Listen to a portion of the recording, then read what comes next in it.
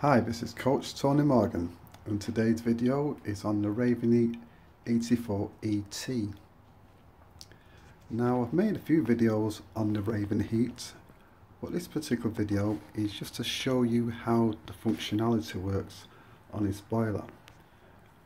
On this particular unit it's a standard efficiency boiler and you can see the burner here which is a standard efficiency burner aerated burner. You can call it that as well. I just want to go through the function on how it works in hot water and in heating. You can see at the front here this brass part here that's a diverter valve.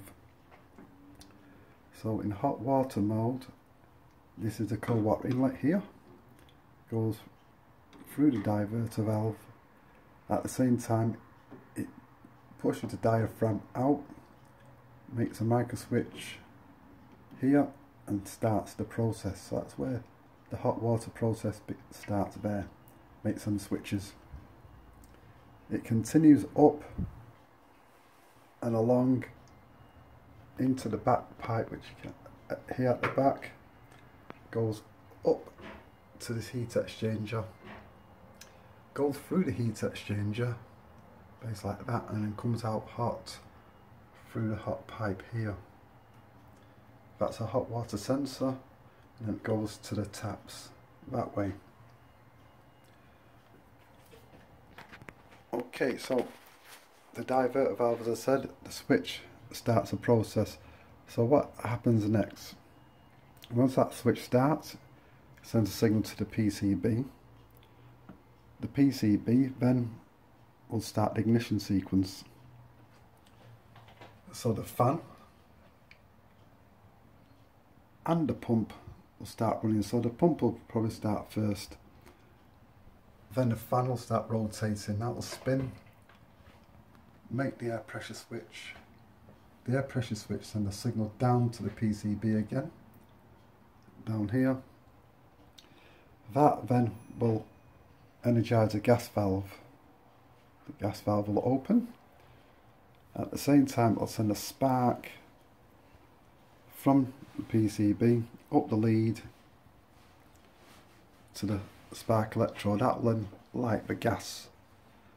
The burner will light and then it's going to be detected by the flame sensing detection probe.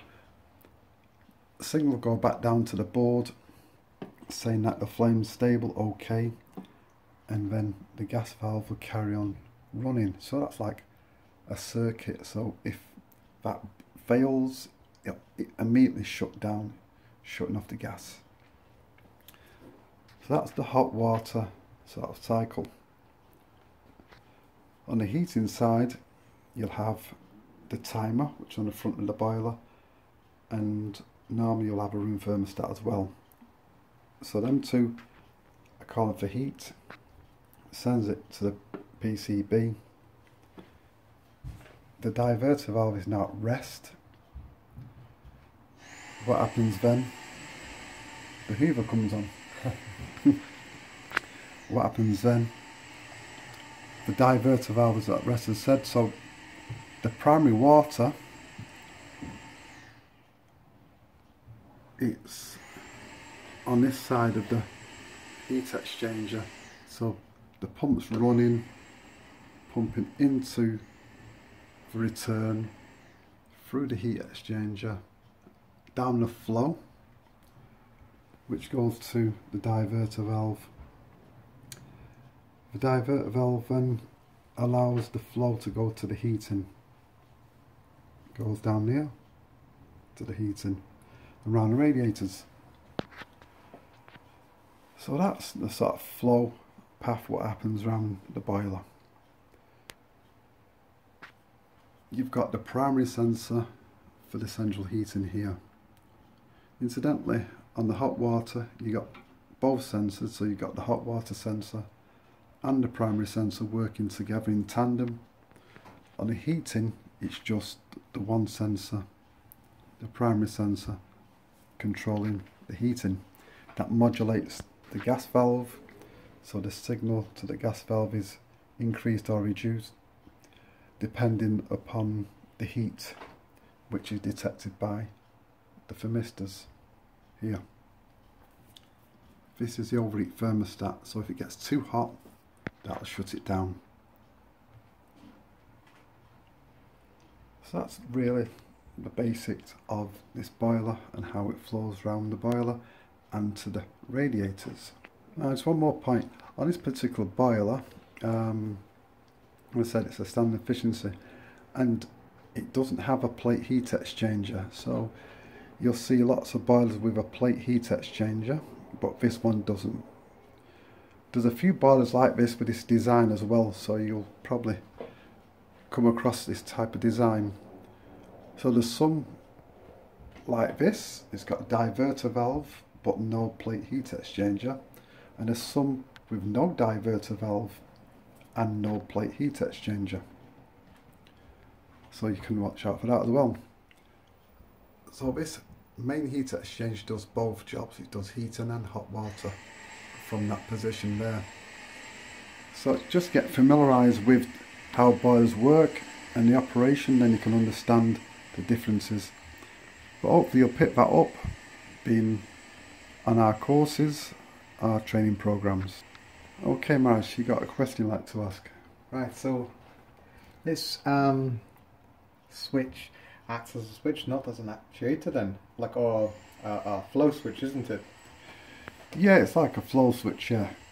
Um, the reason why it's using the word actuator is because on the actuator, that's what makes the diverter valve move. So the diverter valve is basically like electrically um, activated. It moves by the motor. The motor moves the diverter valve.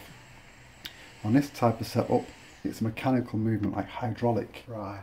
Okay, I see. Yeah. So it's the water. Makes sense. Yeah. It's the cold water. What's coming in, what drives out, and that then hits the switch.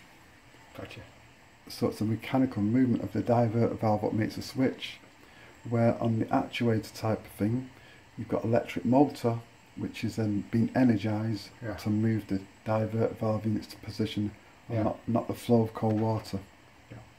So one's like electrically motor activated and one's like hydraulically activated. Yeah. So this is your hydraulic activated type of setup. Yeah. So that's going to be the end of this video on this particular boiler. As I said, just go over the video again, get familiarised with it. And uh, if you've got any more comments, I'd be glad to hear from you.